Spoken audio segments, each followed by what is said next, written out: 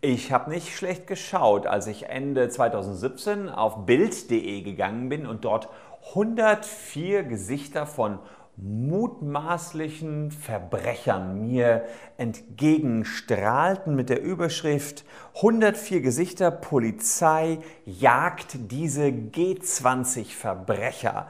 Es ging also um mutmaßliche Täter der G20-Ausschreitungen in Hamburg. Doch Durfte die Bildzeitung das? Durfte die Polizei diese Fotos an die Öffentlichkeit geben? Wir klären es in diesem Video.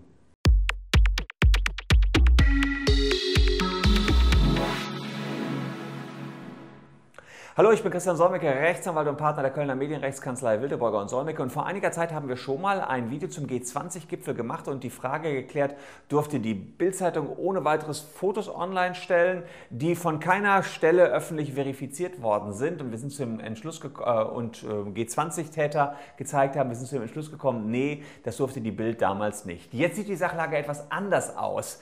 Die Polizei in Hamburg, äh, genauer genommen die Soko Schwarzer Block, die bittet jetzt um Mithilfe und hat auf der Polizeiseite selbst 104 Fotos veröffentlicht von möglichen Tätern. Und das hat offenbar die Bildzeitung zum Anlass genommen und von der Polizeiseite oder wie auch immer, klar ist das nicht, die ganzen Fotos genommen und auf bild.de abgedruckt und oder veröffentlicht nochmal.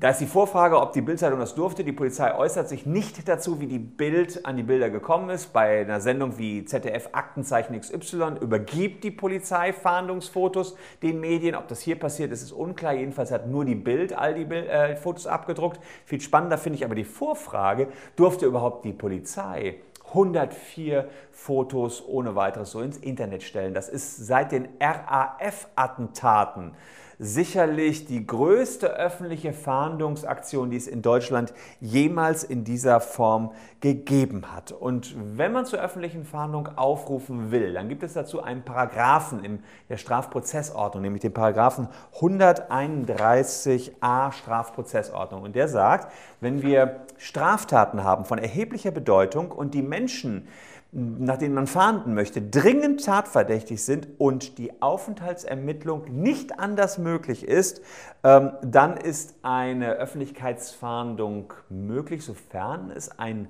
richterlichen Beschluss gab. Sprich, diese Öffentlichkeitsfahndung, die ist immer Ultima Ratio. Warum ist die Ultima Ratio? Naja, weil es immer sein kann, dass nach jemandem gefahndet wird, der sich nachher eben nicht als Täter herausstellt. Und dann ist es verdammt schwierig, das Stigma des G20-Täters wieder wegzubekommen. Insofern noch schwieriger, wenn die Bildzeitung die Dinger abgedruckt hat. Die haben nämlich schon drüber geschrieben, äh, wer ist diese Krawall-Barbie? Also, und die Leute wurden alle pauschal als Verbrecher schon bezeichnet, ähm, sodass da eine Vorverurteilung Verurteilung diesmal schon klar stattgefunden hat. Die Frage ist, ob überhaupt dieser richterliche Beschluss hätte ergehen können. Die äh, Richter in Hamburg haben gesagt, naja, wir haben sehr sorgfältig jedes einzelne Foto geprüft und es geht hier um Straftaten von erheblicher Bedeutung. Teilweise ging es allerdings nur um Leute, die auch an einem Diebstahl teilgenommen haben im Rahmen der Plünderung. Und da ist dann die Frage, inwiefern kann das schon von erheblicher Bedeutung sein, wenn mehrere Menschen zusammen plündern. Klar, erhöht sich da auch wieder die, äh, die Straferwartung, sodass man dann wieder sagen kann, ja, es ist erhebliche Bedeutung, aber weit entfernt von den RAF-Morden, bei denen äh, zuletzt so eine große Öffentlichkeitsfahndung äh, ausgelöst worden ist. Ich bin der Meinung, diese Öffentlichkeitsfahndung wird noch die Gerichte beschäftigen ähm, und ob die Polizei überhaupt in so einem großen Stil fahnden durfte. Ich bin auch sehr gespannt, was das Ganze gebracht hat. Das werden die nächsten Monate bringen, wenn das Ganze ausgewertet worden ist. Bei der Bildzeitung sieht es jetzt so aus, dass jedenfalls die Vorverurteilung dazu führen kann, dass die Bildzeitung möglicherweise eine Rüge des Presserats hier reingedrückt bekommt. Denn diese Menschen alle pauschal als Verbrecher zu verurteilen, ohne zu wissen, was das eigentlich für Leute sind, das funktioniert nicht. Ich will damit nicht sagen, dass ich die Ausschreitungen nicht verurteile. Die Massivität, mit der hier nach den Menschen gefahndet wird, ist allerdings einmalig, bemerkenswert und berichtenswert.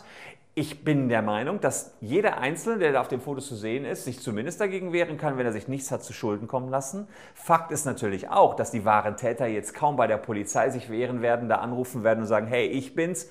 aber ich habe doch gar nicht so eine schlimme Straftat gemacht, nehmt mal mein Bild runter, weil dann hat die Polizei ja den Fahndungserfolg auch. Sprich, in der Summe wird es für die Polizei schon zu einem Erfolg führen. Bleibt noch abschließend die Frage zu klären, dürft ihr denn jetzt die Fotos, die die Polizei irgendwo ins Internet gestellt hat, teilen? Ich meine, ja, wenn die Polizei diese Bilder auf ihrer Facebook-Seite veröffentlicht hat, das wird die Polizei aber in aller Regel nicht tun, weil man bei Facebook kaum Bilder zurückrufen kann. Es ist also ratsam, den Link zur Webseite der Polizei nur zu teilen. Da kann sich dann jeder ein Bild machen äh, und schauen, ob er den einen oder anderen kennt und ob er den verpetzen will oder nicht. Ich wollte nur darauf aufmerksam machen, so ohne weiteres geht so eine breite Öffentlichkeitsfahndung äh, auf keinen Fall.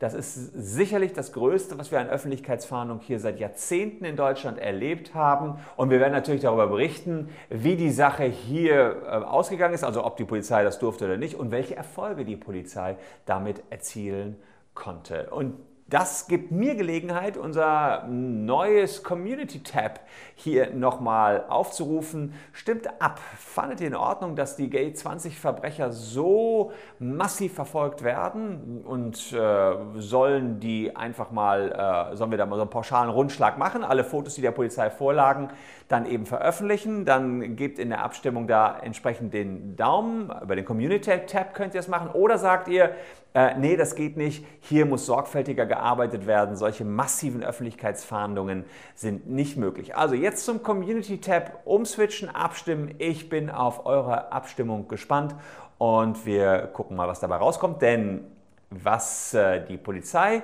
hier rauskriegt, werde ich hier wieder berichten. Also gebt uns gerne ein Abo und dann wisst ihr schon bald, wie das Ganze ausgegangen ist. Jetzt erstmal ab zum Community-Tab. Tschüss und bis morgen.